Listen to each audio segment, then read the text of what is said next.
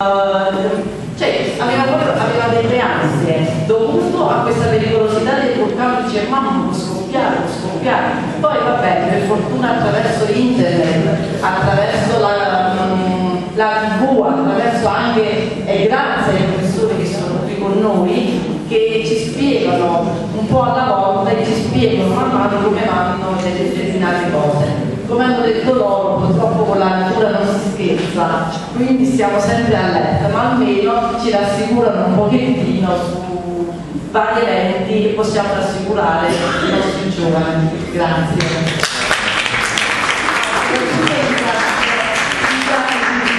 e tutti voi che mi invitate ogni volta per le vostre manifestazioni.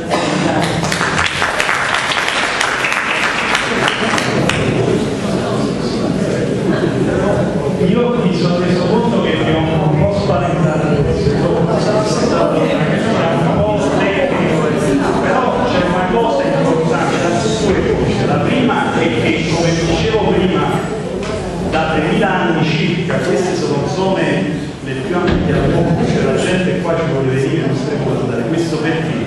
perché fortunatamente le elezioni veramente catastrofiche sono molto rare. Allora nel bilancio costi-benefici anche gli antichi avevano capito che comunque conveniva stare e perciò voi state qui perché le, le, diciamo, le generazioni prima di noi lo sanno che il Vesuvio, i Canto, i Grei sono vulcani,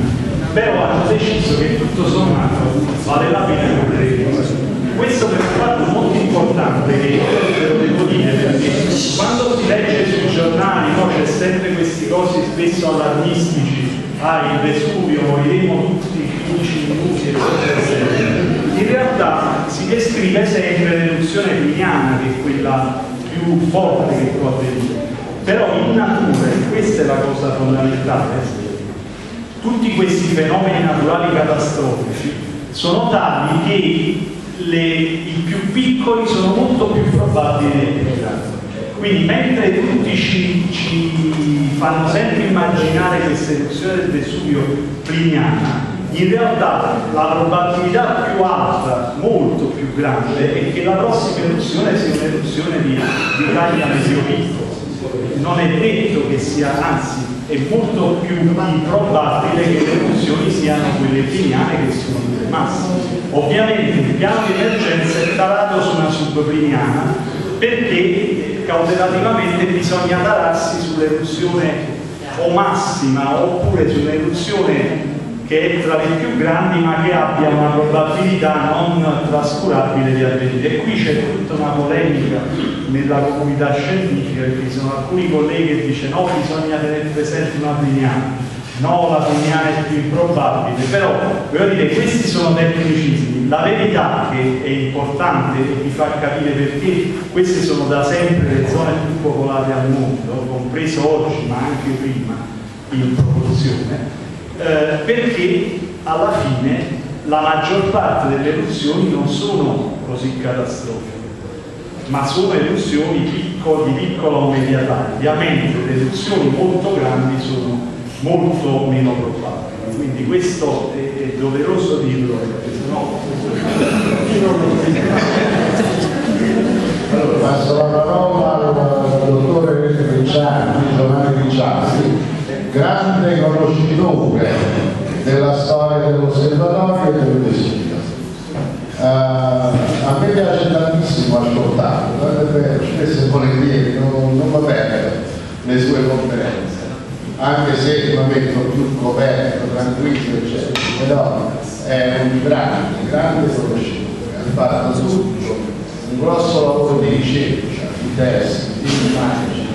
eh, di documenti inerti e li sta divulgando, sta passando a tutti.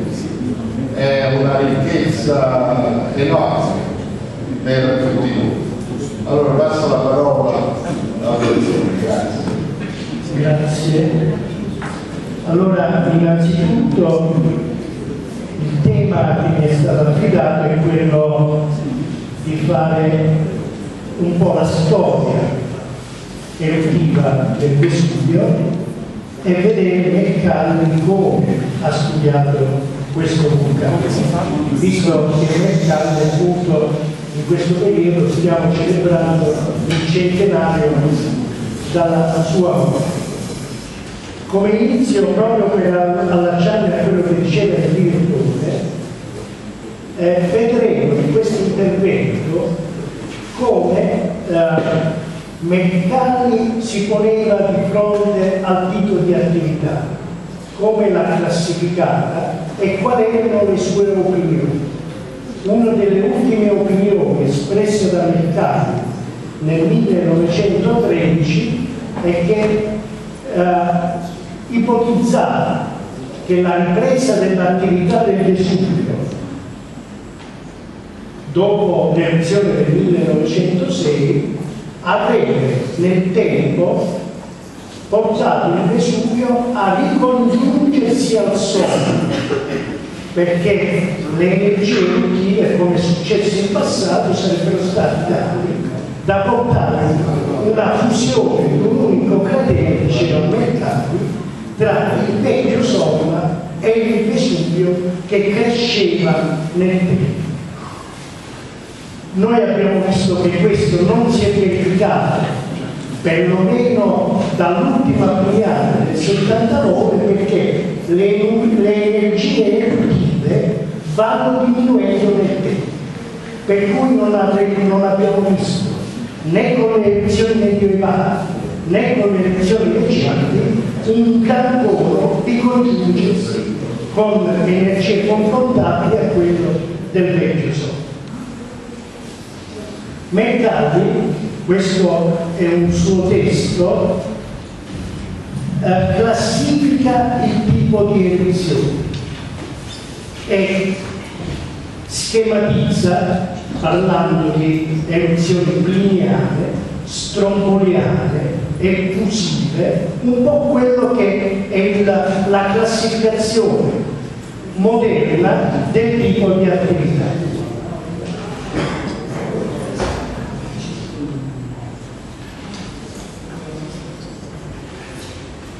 Allora, diamo un piccolo cenno biografico di Mercati, proprio per inquadrare questo personaggio. Nasce è milanese, nasce a Milano nel 1850 e eh, di famiglia molto religiosa studia in seminario ed è talmente brillante come allievo che addirittura diceva l'ordine sacerdotale anche con l'anticipo. Già si vede eh, e i suoi professori notano la, eh, la, presenza di spirito e il grande intelletto di questo, del giovane Giuseppe Mercato. Tra i suoi professori che meglio lo valorizzò fu il grande geologo Abate Stoppani colui che scrisse il libro, il più grande geologo che ebbe l'Italia del XIX secolo. E Stoppani capì il genio di Mercalli come classificatore, cioè Mercalli è un naturalista e ha una forma mentale tale che gli eventi tende a classificare, osservatore e classificatore. Quello che la sua mens naturalista la trasferisce un po' a tutto quello che farà in seguito, sia come uh, vulcanologo, sia come sismologo. Uh, nel 1878 c'è una grande svolta in quella che eh, la cultura domenicale. Gli viene affidata dal suo maestro di compilare il terzo volume della geologia d'Italia di Stoppani eh, in cui avrebbe dovuto trattare in questo terzo volume eh, la, i fenomeni vulcanici. Quindi Mercato, facendosi dare un cospicuo anticipo dall'elettore Vallanti, cominciò a girare per l'Italia tutti i vulcani attivi e non attivi un po' come collocandosi in quella la scia del Grand Tour del settecentesco e ottocentesco e quindi arrivò nel 78 anche a Napoli dove eh, osservò eh, l'attività del Vesuvio. Uh, come vi dicevo, Meccani classifica in, in elezione pliniana, stromboliana, uh, oggi si chiama ultra stromboliana, ed erudire Vesuvio. L'elezione pliniana per Meccani è quella del 79 d.C., anche se, e oggi è alquanto accettato, colloca l'inizio dell'elezione in novembre e non in agosto e oggi ci sono molte conferme eh, tipo archeologico ma anche filologico perché ci sono altre cronache come quella di Cassio Lione o quella di Plinio Giovane che dice che l'elezione avvenne in aumento.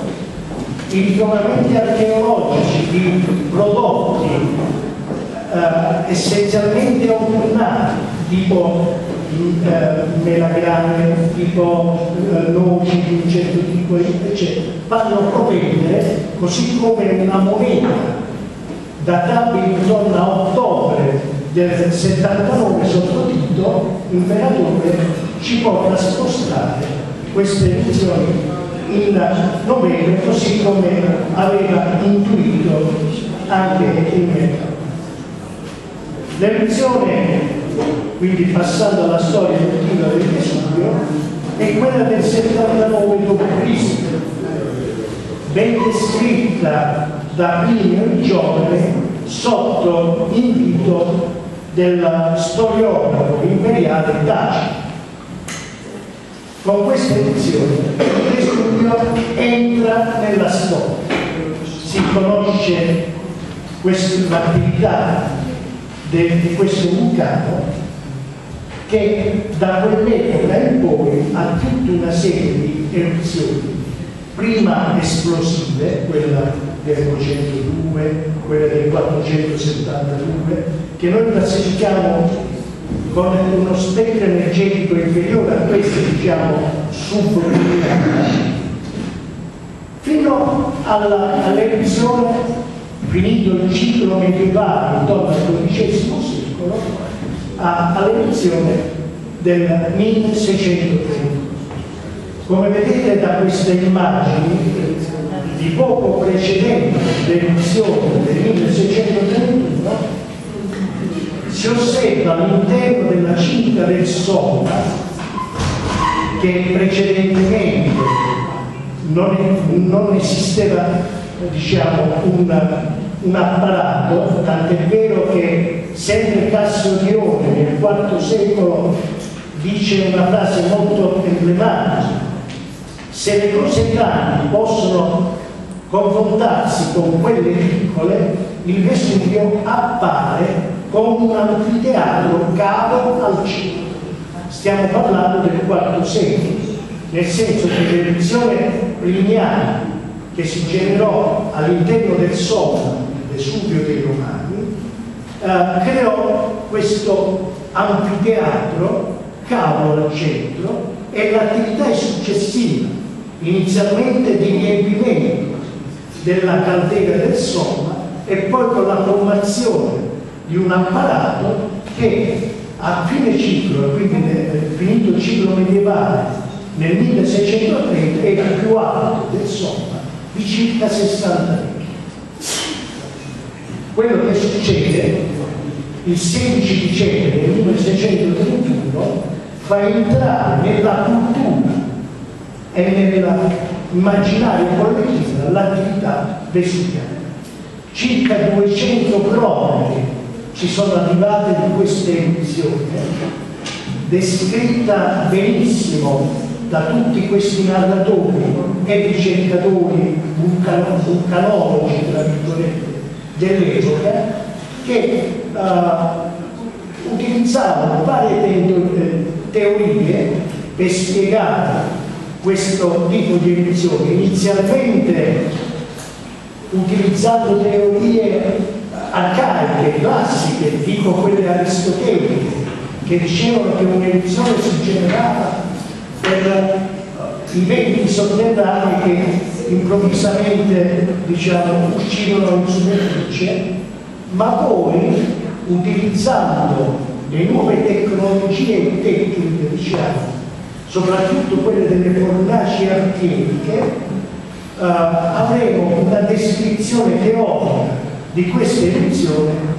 uh, che ben riconosciamo in quello che è la lapide che si trova a Portici, al Grandello, vicino al Grandello, Corso Garibaldi si conosce, che fece apporre il Viceré nel 1632 e che è datato appunto 16 dicembre 1630. Questa lapide è molto emblematica, addirittura è una delle poche, se non l'unica, rivolta ai posteri. E dice, posteri o posteri di voi si tratta. Uh, un, il, un, giorno in cui all'anno, il dì precedente, è esperienze per il dì sì. Cioè ogni cosa va letta considerando che la storia va considerata perché quello che è successo in passato potrebbe succedere ancora. Allora in cassetto voi vedete ci sono delle notazioni che io ho messo per farvi capire quanto è attuale questa epigrafe nel capire la storia emotiva di questo capo e come bisogna agire in conseguenza del tipo di attività. Innanzitutto bisogna conoscere la storia evolutiva del Buddha e la recita 20 volte da che splende il sole, se non sbaglia la storia, alse il Vesuvio. Quindi è innanzitutto importante conoscere la storia del Buddha Occorre conoscere il tipo di magma che, che ha il bucato all'interno del bucato, perché sappiamo bene che il contenuto magmatico, vuoi il silice, vuoi il magnesio, l'allume, eh, vuoi il potassio e altri tipi di uh, composizioni eh, che caratterizzano i vari magmi, sono indici di esplosività noi sappiamo che l'umano più è ricco in silice, più è esplosivo, più è ricco in, in materiali tipo potassio o magnesio, più è fluido. Quindi già conoscere quello che noi chiamiamo zonazione matematica, il tipo di contenuto matematico da quello che ha aiutato diciamo, il vulcano che possiamo car caratterizzare anche il tipo di attività futura che potrebbe avere il Buddha. La cosa interessante è che quello che scrivono in queste epigrafe è un concetto di isolazione matematica di tipo alchemico, nel senso che dice questo monte a pieni seno di bitume, allumi, solo, oro e argento, l'oro e l'argento che gli alchimisti era uh, il, modo per ottenere l'opus, l'interazione di oro argento, maschio femmina, uh, ignari, avrebbero detto i taoisti del VI secolo a.C., era quello che avrebbe creato uh, l'interazione, quindi l'espulsione, secondo uh, questo schema di oro. L'aver osservato prima dell'elezione un ritiro del mare e poi subito dopo l'inizio dell'attività di flussi piroclastici fece invocare il fatto che l'acqua che non vedevano, non attribuendola alle deformazioni del suolo, ma acqua che si infilava all'interno del vulcano, che avrebbe creato l'esplosività, per cui eh, l'interazione acqua-magma avrebbe creato la freata magmatica di cui eh, abbiamo visto come prodotti eh, diciamo, più catastrofici, lava, flussi eh, eccetera. A tal punto che tutta l'attività successiva del Vesuvio si monitorava mettendo, soprattutto nella città Vittoria del Greto, nelle eh, città vesuviane costiere, delle persone sui campanili che appena avrebbero osservato il ritiro del mare rintoccavano le campane per far uh, andare via la popolazione, perché quello sarebbe stato un indice che subito dopo sarebbero arrivati i flussi piroclastici. Questo lo fecero uh, fino nel 1861, quando Palmieri, con un'eruzione laterale del Vesuvio, capì che erano deformazioni del suolo e non eh, l'ingresso di acqua marina del, del vulcano. Eh, prosegue da Davide dicendo comunque se ti è cara la vita fuggi perché è l'unico modo per sopravvivere. Dimentica i lari eccetera e eh, se hai di te questo da molti definito il primo protocollo di protezione. Civile eh, Mercalli capisce dall'attività successiva al 1631 che ci sono degli schemi nell'attività vesuviana, attività parossistica, effusiva, periodi di riposo e, e successiva ripresa dell'attività. Quindi con base solfatarie e la cosa interessante che nella breve vita di Mercalli sia negli ultimi tre anni di vita all'osservatorio vesuviano, sia dal 1878, eh, lui capisce e vive l'attività vesuviana tutti i cicli che aveva, aveva classificato. Vede l'attività del 1906, che è un ultrastromboliano, che lui addirittura chiama pliniana, vede l'attività a condotto chiuso e poi la ripresa dell'attività nel 1913 e che dice? Attività possibile, la creazione di tuoni uh, di cupole labile come quelle di Columbretti, quindi nella sua breve storia però capisce tutto quello che poi sarà lo specchio erutivo del vita.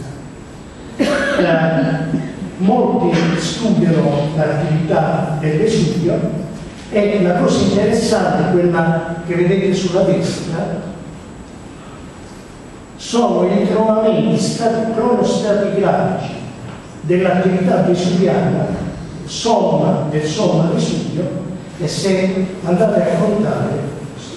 non è sbagliata la lapide che dice 20 volte da che eh, la storia avvicinata asse di Vesuvio. Molti hanno descritto eh, la storia evolutiva del Vesuvio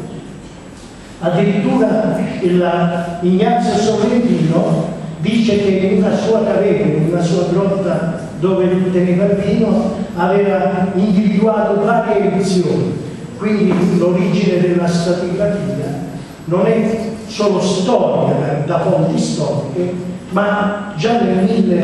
nel XVII-XVIII secolo cominciano a studiare stratificamente le erosioni. Questo è Vesuvio dopo l'elezione del 1631, perde circa 400 metri del vecchio apparato e nel tempo eh, l'apparato comincia. Questa è un'altra eruzione ultraviolenta del 1660 che terrorizzò fortemente i napoletani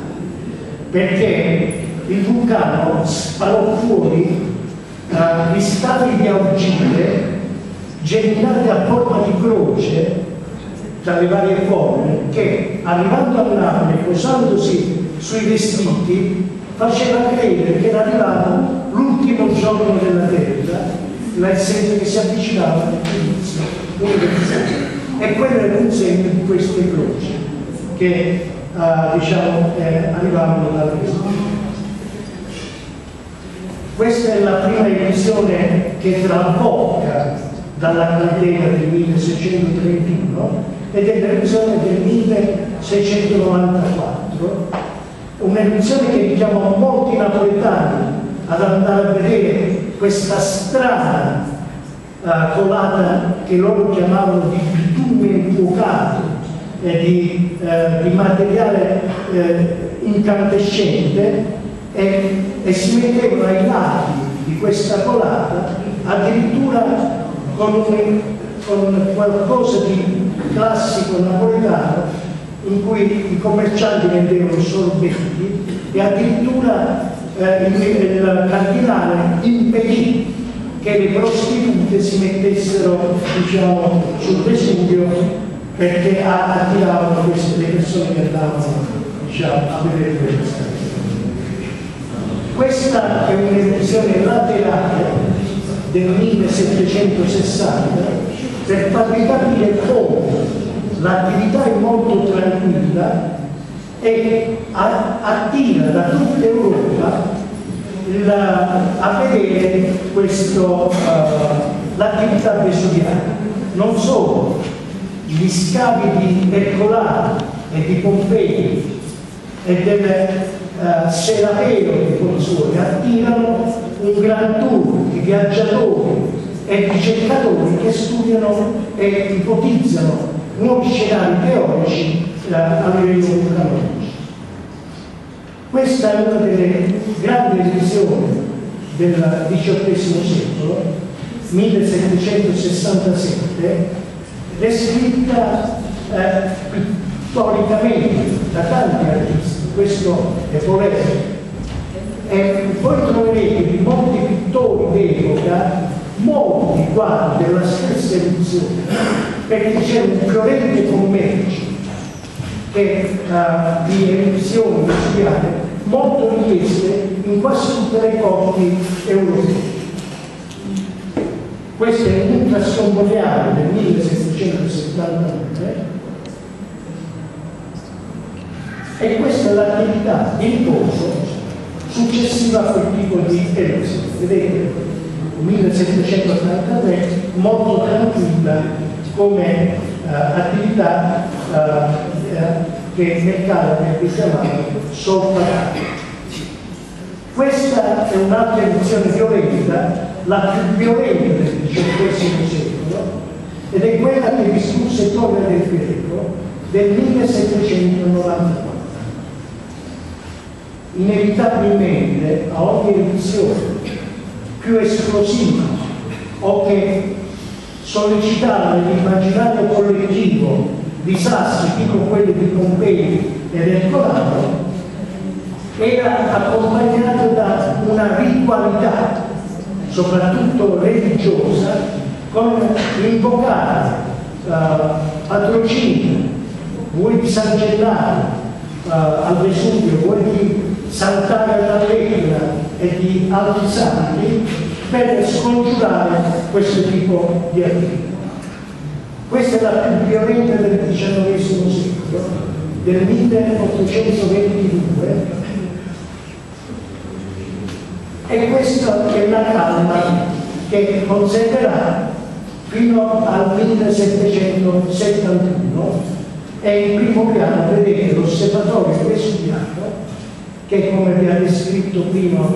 eh, il direttore eh, nasce per studiare l'attività del Gesù.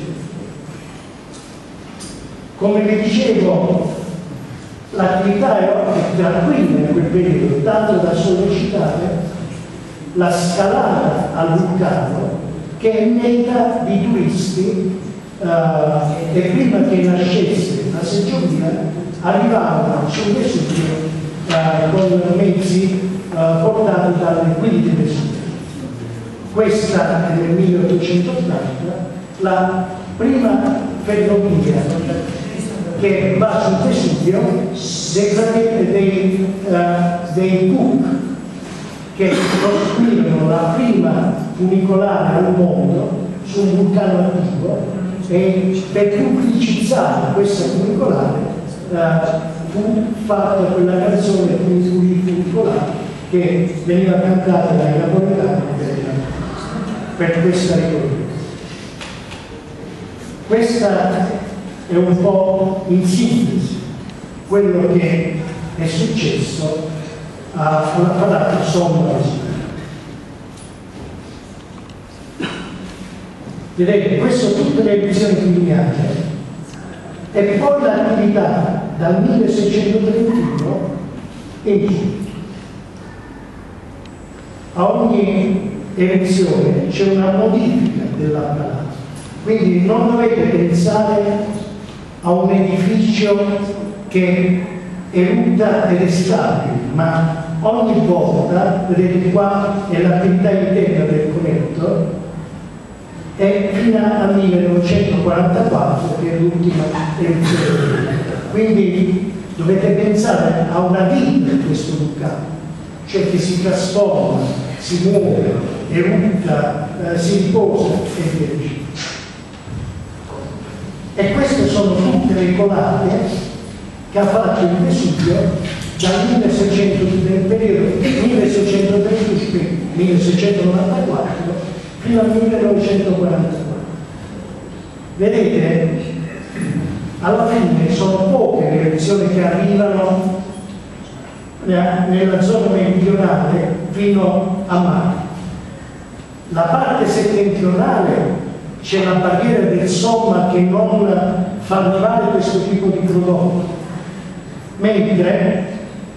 le attività che colpiscono le città vesuviane della costiere sono essenzialmente colate laterali, tipo come vi ho fatto del 1761, 60, 1861, 1794 che discusse per greco, la cui attività e poche sono all'interno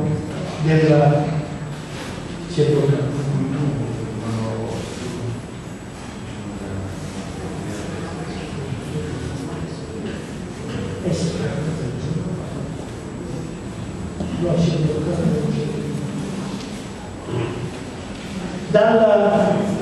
successivamente vi faccio vedere che già da due anni dopo che i Lumiere inventano il cinematografo si vede per la prima volta il vulcano Vesuvio e quindi il primo vulcano al mondo in eruzione. In questo periodo che Mercalli si trovava a Napoli e che studiava questo tipo di attività, eh, ebbe origine, erano già da due anni, no, da quattro anni, che eh, era cominciata l'elezione che diede origine poi al Colombo. Qui i fratelli minieri sono alla marina e vedete a un certo punto si vede anche nell'ultimo che l'accumulo di queste lave che formeranno poi il Columbia. Mentre vedete la forma del Vesuvio è completamente diversa. Prima di questa attività successiva, fino al 1906, il Vesuvio era alto 1350 metri cioè quasi 200 metri oltre quell'altore, uno dei livelli più alti mai raggiunti da nessuno. E su questo ci fu una grossa diatriba tra due direttori dell'osservatorio, quello, quello dell'epoca, Matteucci, e quello successivo, Mercalli, in cui il primo pensava a un accumulo per sollevamento in base alla teoria crateri di sollevamento, vedete? E invece Mercalli, questo è l'idea di Mercalli, mentre questa è l'idea di Matteucci sulla sinistra, e in realtà è applicata per aveva ragione. Era un, una cupola di accumulo e non di sollevamento.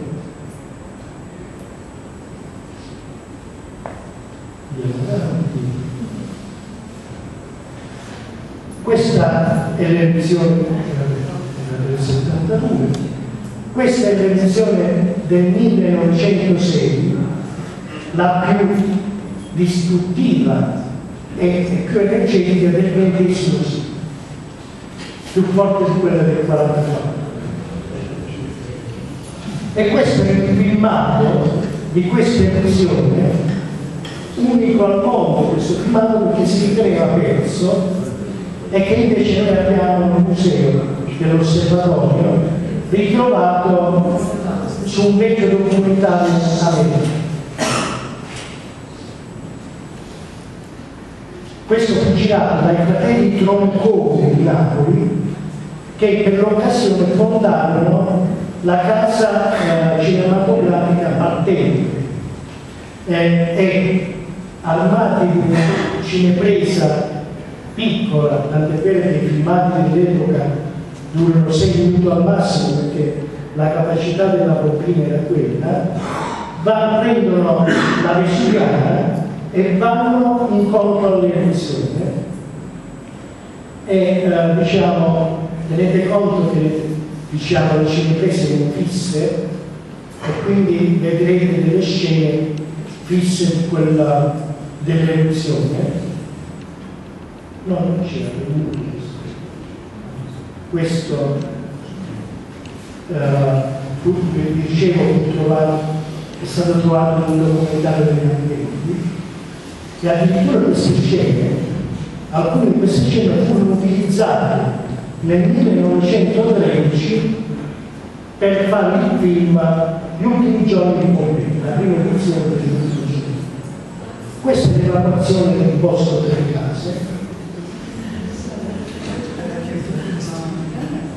perché le edizioni prese soprattutto il bosco delle case e la sommesse in alcune zone montato oratorio fu completamente immenso. Vedete quanto c'è? E per l'occasione, non per la colata laica, ma per l'accumulo di ceneri, soprattutto a San Giuseppe Vesuviano, quando il prete richiamò con le campane i fedeli andare a pregare, 80 persone che si trovavano in chiesa notte crollò il tetto e morì. Quindi su questo eh, tutta la comunità scientifica dell'epoca, eh, i gruppi massonici attaccavano fortemente a livello uh, il clericalismo e i clericali perché dite voi siete scemi, come vi permettete nell'altra direzione ad accettare persone in uno stesso posto, consigli molto attuali rispetto a un tipo di attività. Tant'è vero che nei piani di emergenza c'è proprio scritto che alcuni di mezzo metro di cenni sui tetti rendono instabile verticalmente strutture quindi che eh, diciamo, consigliano di sparare dove è possibile o comunque di abbandonare gli edifici se diciamo, prosegue l'attività di di cibo. Tant'è vero che nei piani di emergenza, oltre alla zona rossa, c'è una zona limitrofa, cosiddetta zona gialla, in cui anche quelle da evacuare nel caso vengono superate delle soglie di accumulo di ceneri quindi non è che non, la storia del vulcano non insegna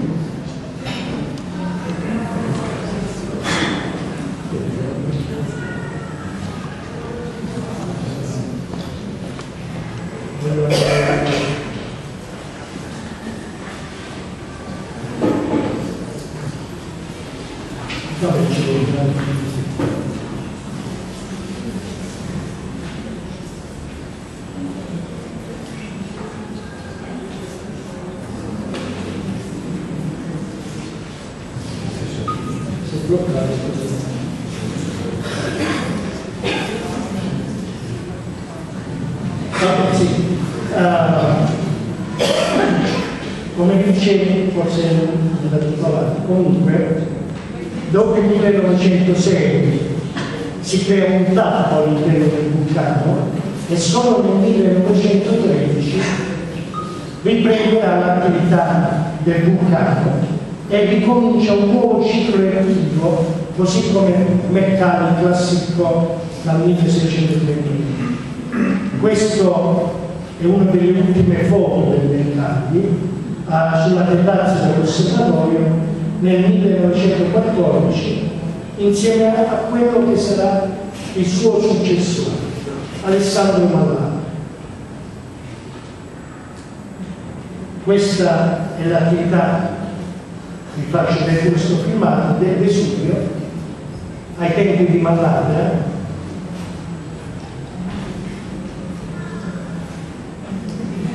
C'è qualche problema sulla sicurezza. Va bene. Questa è l'attività del 1913 che si riapre il fondo accademico e ricomincia l'attività e nel tempo si forma un conetto all'interno del residuo che cresce, erutta, eleva il plateau di lava e nel 1938 il conetto lo si può vedere da Questa è l'ultima edizione del Vesuvio ed è l'edizione del 1944 eh, registrata dagli americani che in quel periodo erano a Napoli e avevano occupato l'osservatorio vesuviano per fare una postazione meteorologica. Vedete il conetto, lo si può vedere, qui trovate il greco con un calammato in primo piano. Il conetto che è unita ed è talmente pieno il cratere del Vesuvio che bastava pochissimo perché si verificasse l'erosione. Tant'è vero che i giornali del greco, soprattutto il mattino, accusò gli alleati, soprattutto la RAF inglese, che nel ritorno dal bombardamento di Cassino insieme agli americani scaricavano le bombe non gettate parte in mare e parte nel cratere del Vesuvio tant'è vero che in bocca il direttore del libro chiese di sapere gli orari perché avrebbero utilizzato per quelle che noi diciamo travettare per capire la propagazione delle notizie e quindi studiare l'intero del. Questa è l'attività la, del 18 marzo 1944, una lava molto fluida su al cratere con l'attività stromboliana inizialmente del conetto che poi crolla completamente e poi la lava che scende dalla valle dell'inferno per il fosso della Vetrana si infila verso i paesi di San Sebastiano e Terzino. Questo è il fronte lavico nelle campagne di San Sebastiano. Inizialmente le persone sono molto curiose perché la precedente edizione di quella zona fu nel 1876 e questi stanno i giovani di altri che fanno le processioni e vanno per malata no, no, questo si stati solo passeggiati questo è il ponte molti curiosi non immaginano l'edizione però già intorno al 20 marzo e poi il 21 comincia ad arrivare a San Sebastiano al Vesuvio. Queste sono le parti più periferiche della cittadina. Vedete, e la pressione della lava è tale che fa crollare queste case. Non è l'attività sismica che fa crollare le case, ma è la pressione del fronte alto che distrugge completamente, tant'è vero che se qualcuno è stato a San Sebastiano vede che tutte le case e le villette di oggi, e che poi hanno costruito bene San Sebastiano, sono al di sopra della colonna del 49. questi morti, soprattutto per aver avuto un sindaco illuminato, capace, in quella cittadina, ringraziano il Vesuvio perché forse l'unica cittadina vesuviana a misura d'uomo e urbanisticamente all'avanti. Quindi in questo non ce dobbiamo che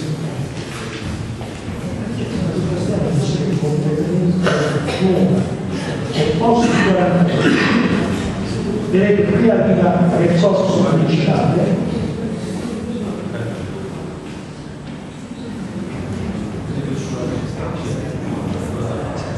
la gente vedete talmente tranquilla l'elezione diffusiva che le vittime in genere, come dicevo, sono per carnefici o per, per vabbè, qualcuno che per lo spavento c'è rimasto perché voleva rimanere in casa, eccetera, Di questa edizione parlano gli agronomi italiani che sono morti solo una ventina di persone, ma per cadute testi di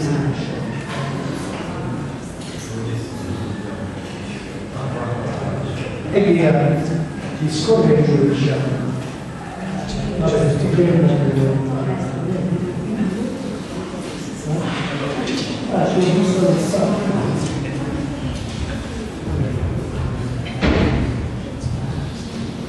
allora questa è l'ultima come dicevo l'ultima episodio del questo questa è una colata io ho fatto lo schema come è fatta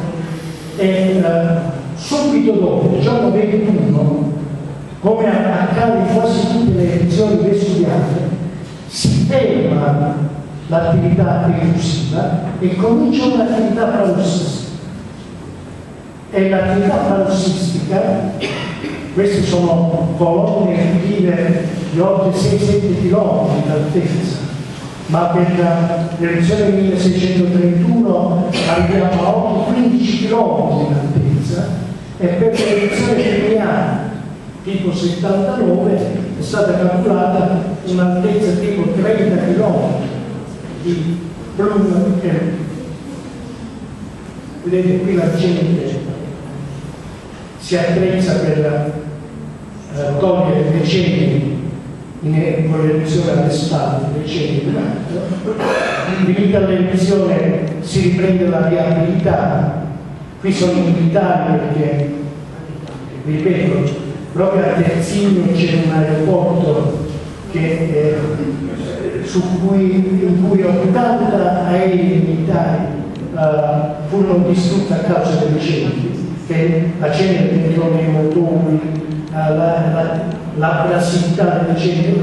80 aerei bombardieri completamente rappresentati e, e praticamente questo è uno degli aerei una volta sgombrato, che ritorna da Cassino.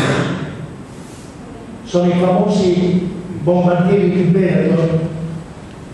che eh, diciamo distrussero, come sapete questa è un'altra storia, la pazzia si erano rinunciati i tedeschi in quel periodo. Vedete insomma a marzo con la lingua e questo diciamo,